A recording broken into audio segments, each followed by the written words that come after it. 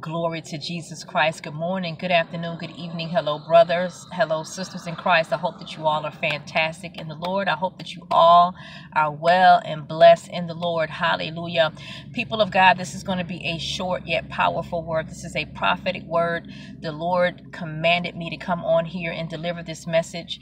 I hope that you all will take heed to what the Lord is saying right now. God is saying that it is time to put down the stuff that keeps you busy.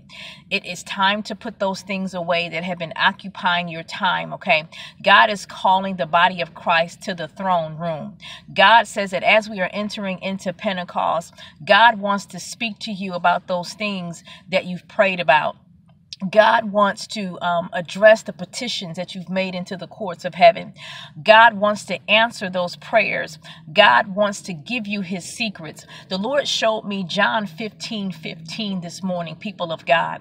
And I'm going to paraphrase what that scripture says. It says that the Lord no longer calls you his servant. Why? Because when you are a servant, you don't know your master's business. But in the in the text, it, it goes on to say that God has now called you his friend. God now considers you to be his friend. And so he wants to give you the secrets. He wants to talk to you. He wants to teach you. He wants to show you the things that God, his father, has shown him. He wants to reveal those things to you. And so God is inviting you, child of God, to come into the throne room. God is saying that this is an urgent call to the throne room. God is saying that if you're looking to get those things addressed, if you're looking for the answers, if you're looking for um, revelation, if you're looking for the secret, if you're looking for the thing that you haven't seen, God is saying that now is the time to come to the throne room. Now is the time to drop at his feet. People of God, I hear the Lord saying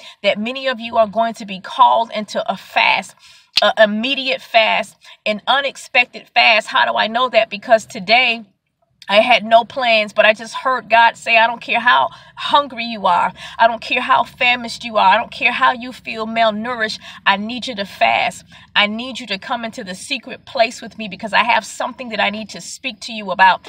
People of God, this is a word from the throne. God is calling you to the throne. He's calling all of his children, all of his beloved to the throne. He is making a call to you because God is saying that he has some things that he wants to reveal to you. And if you are in tune with the Holy Spirit, God is saying that he will speak to you specifically and personally about that situation, about that circumstance that you have been praying about, about, about the circumstance that he had been speaking to you about. Now is the time to get your plan. Now is the time to get your strategy. Now is the time to hear God more clearly. Now is the time for you to be able to get the answer to the dream and the visions. God is saying that now is the time, hallelujah, to come to the throne room. This is an urgent call to the throne room. Hallelujah. Glory to God. Thank you, Jesus. So, people of God, I just pray that you take heed to this message. I pray that you will obey God and you will listen to what He's saying. Um, God is asking you to come to into prayer. Um, ask Him what your orders are going to be. Ask Him when you're going to fast. God needs your undivided attention. He is calling the people to the throne. God has some stuff that He wants to speak to the body of Christ about you. And I pray, Lord God, that you all will have a blessed day. Remember, we are here on purpose to glorify God in Jesus' holy name. And I just love, love, love you guys. I want you to be blessed, okay? Bye.